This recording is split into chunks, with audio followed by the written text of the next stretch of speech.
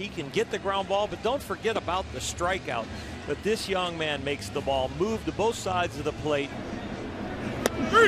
And there's a two-seamer that he brought back over the inside corner. That's his money pitch right there, and it's strike three. That's with runners in scoring position.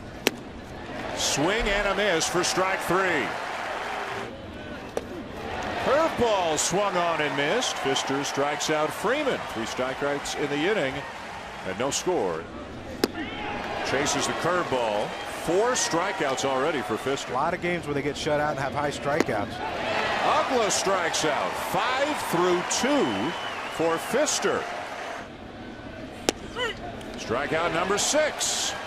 Now he's back on track.